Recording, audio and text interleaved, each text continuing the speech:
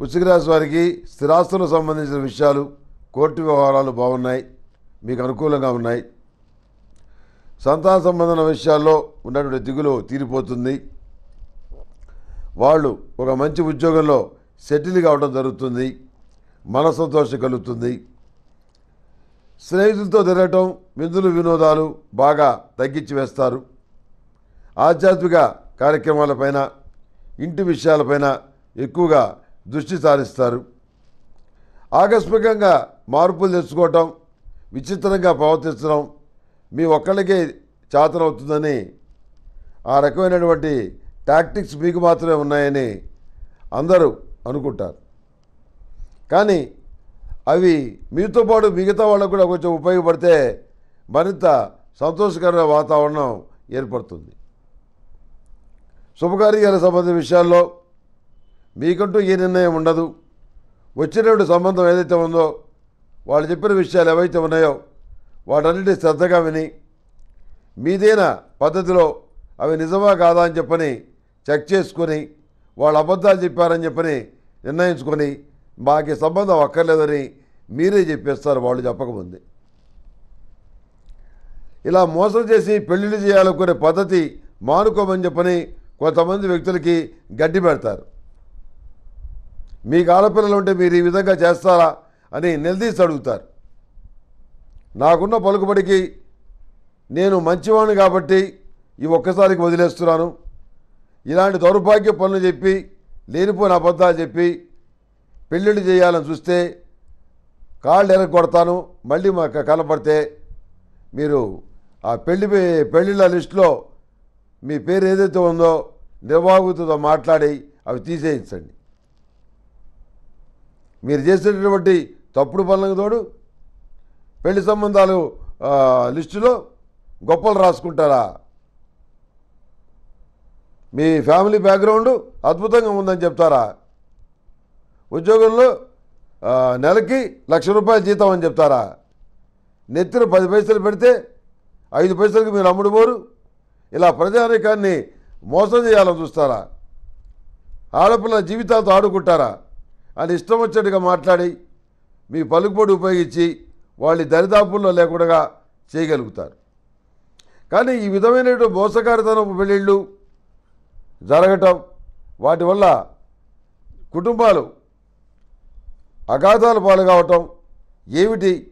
దీనికి మనమేమైనా చేయగలమా? అనేటువంటి ఒక పరిష్కార మార్గం గురించి ఆలోచిస్తారు.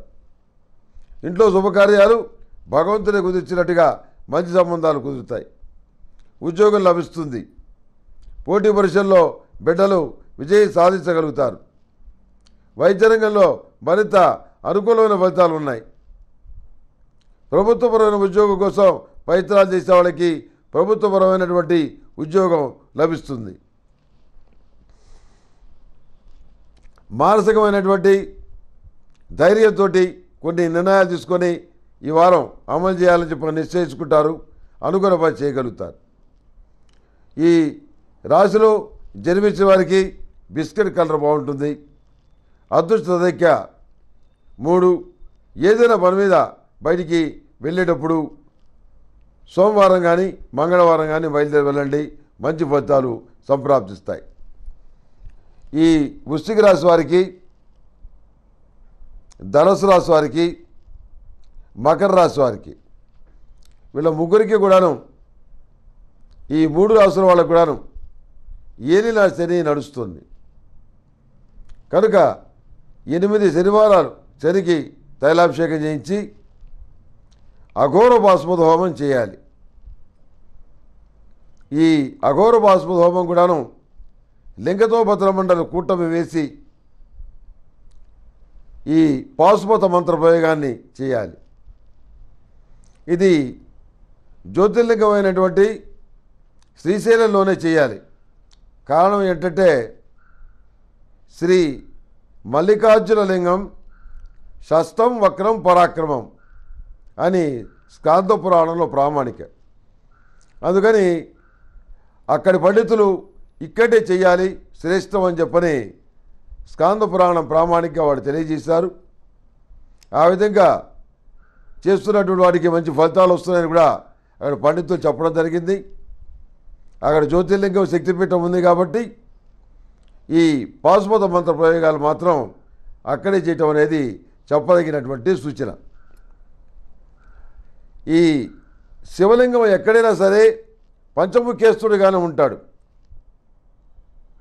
కానీ ఒక్క శ్రీశైలంలో మాత్రం ఆరు ముఖాలు కలిగి ఉంటుంది శ్రీ శివలింగం. ఈ విషయాన్ని స్కాంత పురాణంలో కూడా స్పష్టంగా చెప్పడం అనేది జరిగింది. ఏ పూజైనా ఏ నోమైనా ఏ వ్రతమైనా ఏ అభిషేకమైనా ఏ హోమమైనా ఆర్డర్ చేయండి. అందుకు అవసరమైన పూజా సామాగ్రిని డోర్ డెలివరీగా పొందండి. ఈరోజే మీ పూజా సామాగ్రి కొరకు ఈ పూజా స్టోర్ డాట్ ఇన్లో లాగిన్ అవ్వండి.